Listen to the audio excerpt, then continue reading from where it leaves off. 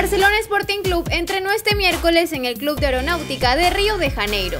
El cuadro torero practicó desbordes por las bandas, centros y remates al arco bajo la tutela del profesor Fabián Bustos, pensando en el partido de este jueves ante Fluminense por la ida de los cuartos de final de la Copa Libertadores. El entrenador torero atendió a los medios desde Brasil y se refirió al enfrentamiento copero que se viene para Barcelona. Fluminense tiene muchos puntos altos.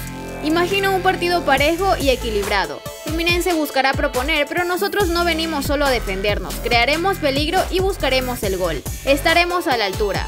Ambos somos buenos equipos y tenemos chances de una serie pareja. El cuadro amarillo realizó en la tarde el reconocimiento del Maracaná y quedó concentrado por el partido de mañana ante el Flu. Aquiles Álvarez, vicepresidente deportivo de Barcelona, considera que el equipo tiene un objetivo alto en esta copa.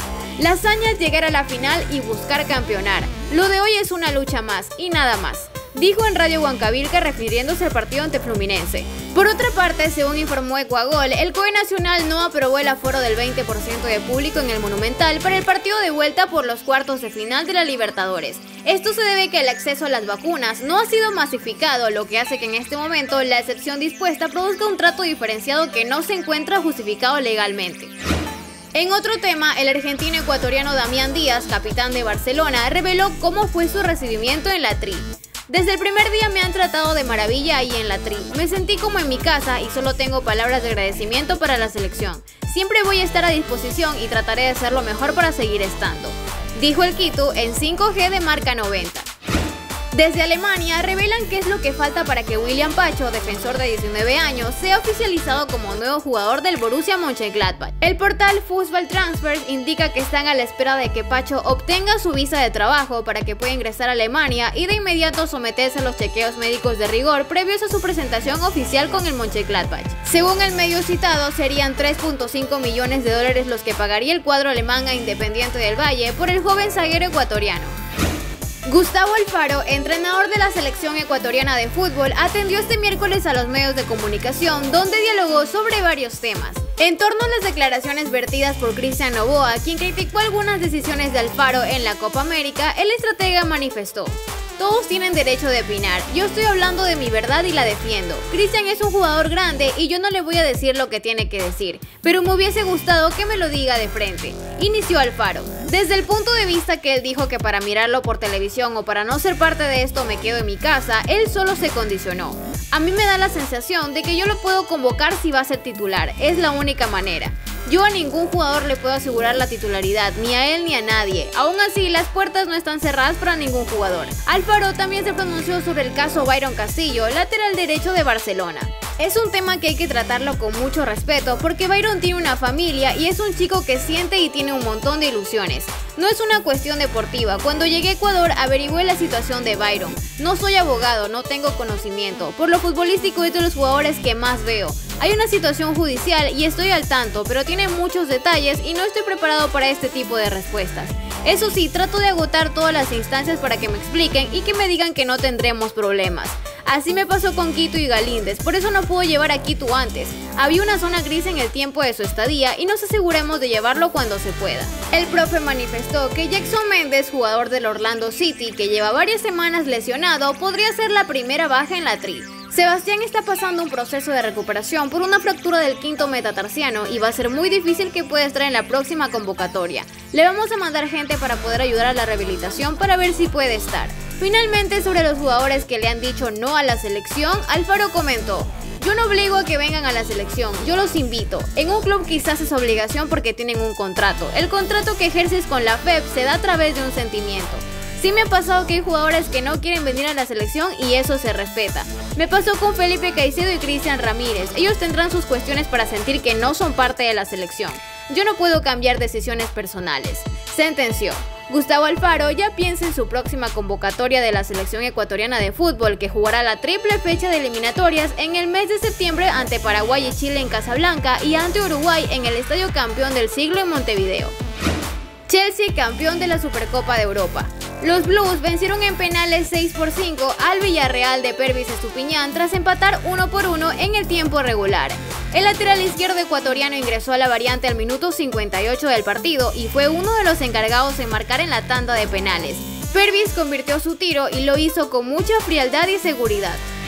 Otro gol de Juan Luis Anangonó. Por la tercera jornada de la Liga Guatemalteca, Comunicaciones Fútbol Club venció 1 por 3 a la Chuapa. El delantero ecuatoriano de 32 años, titular en su equipo, abrió el marcador al minuto 29 tras un remate cruzado.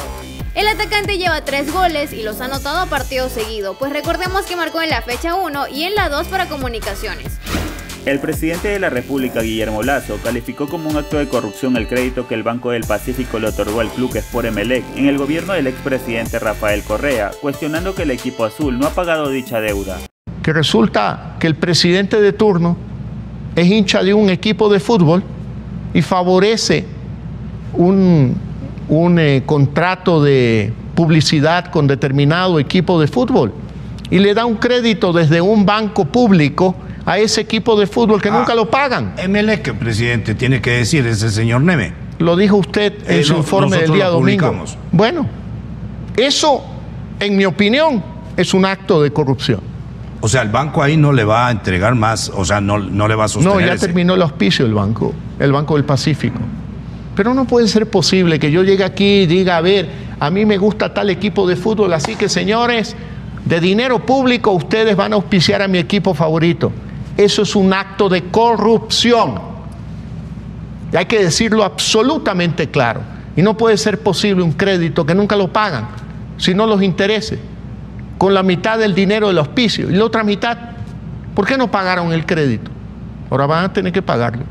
Ante esto, Rafael Correa, mediante su cuenta de Twitter, respondió a las declaraciones del actual presidente del Ecuador. Lo que usted está diciendo es una infamia, presidente Lazo. Es un absurdo sostener que un presidente está al tanto de auspicio y créditos de un banco o un equipo de fútbol. Parece Moreno 2.0. Por su parte, Miller Salazar, presidente del Macará, también se refirió a las palabras del presidente. Me despierto con las declaraciones de Guillermo Lazo y obviamente no me veo sorprendido porque lo sabemos todos en el fútbol ecuatoriano, mencionó Salazar en Radio Huancavilca.